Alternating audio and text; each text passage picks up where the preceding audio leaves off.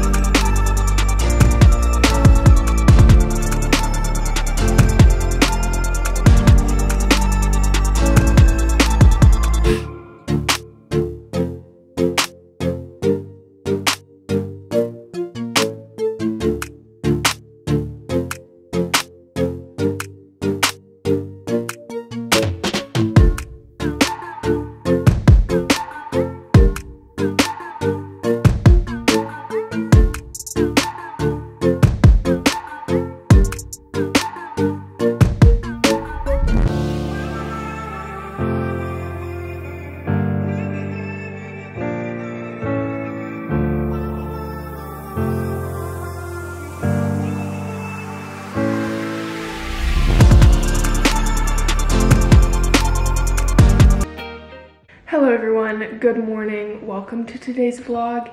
It is Tuesday, June 14th and it's 10:44.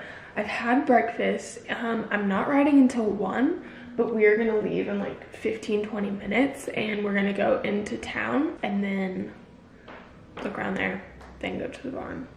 My mom is creeping up to say hello to everyone.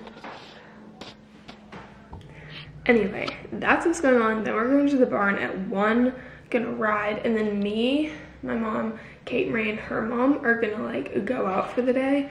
Um so i will film whatever we do it's gonna be a chill day